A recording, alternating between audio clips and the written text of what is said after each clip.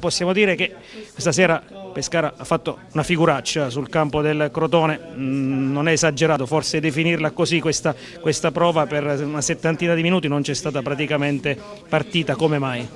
Ma noi speravamo di fare una partita sicuramente diversa, speravamo di, di, di poter mettere in difficoltà il Crotone in quelli che pensavamo essere eh, non, non, tanto punti deboli ma eh, possibili situazioni che potevamo sfruttare. Eh, non è stato così, merito al Crotone che è una buona squadra e lo sappiamo, ma, ma chiaramente oggi ci sono anche dei nostri demeriti Oltre al danno, la beffa dell'espulsione di Boginov dalla panchina. Vogliamo spiegare cosa è accaduto? Perché dalla tribuna ovviamente non abbiamo capito molto il motivo eh, dell'allontanamento del giocatore bulgaro.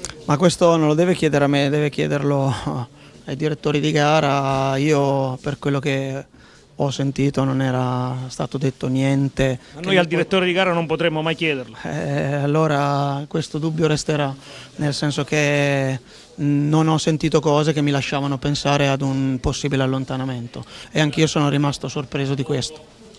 Questa squadra questa sera in campo ancora una volta col 3-5-2 ma eh, con pochissimi centrali di ruolo in difesa può reggere questo modulo questa squadra ancora?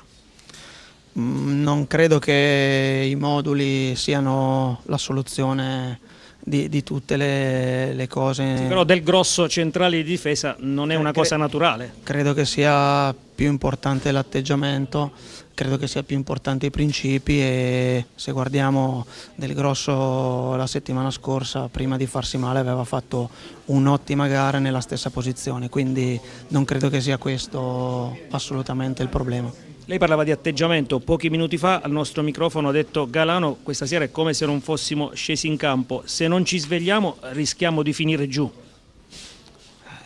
Ora urge svegliarsi, nel senso che dobbiamo ritrovare eh, i principi che ci hanno fatto far bene eh, in determinate partite, dobbiamo ritrovare eh, alcune eh, la determinazione, l'agonismo che, che, magari ci hanno fatto ribaltare la partita con il Cosenza eh, in 10, quelle sono le, le, le, cose che dobbiamo cercare di ritrovare in fretta per, eh, per, cambiare il trend di questo momento. Alla vigilia di una gara così delicata come quella con l'Ascoli è ipotizzabile un ritiro, visto che il Pescara prima delle gare eh, casalinghe non fa, non fa più ritiro eh, in pratica, a questo punto in questa situazione probabilmente un ritiro forse servirebbe. Ma questo si valuterà in settimana, non, non è questa cosa che adesso è la priorità a cui pensare dal mio punto di vista.